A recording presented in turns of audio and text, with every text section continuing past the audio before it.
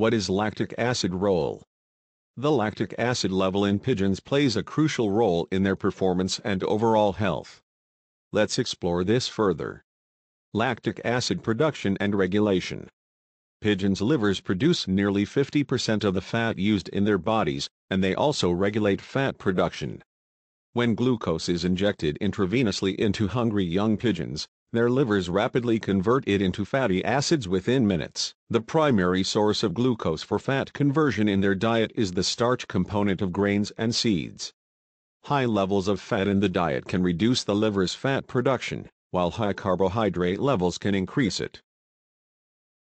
Lactic acid and gut health. Lactic acid is produced by beneficial bacteria in the pigeon's intestines when they consume lactose, found in milk and other sources.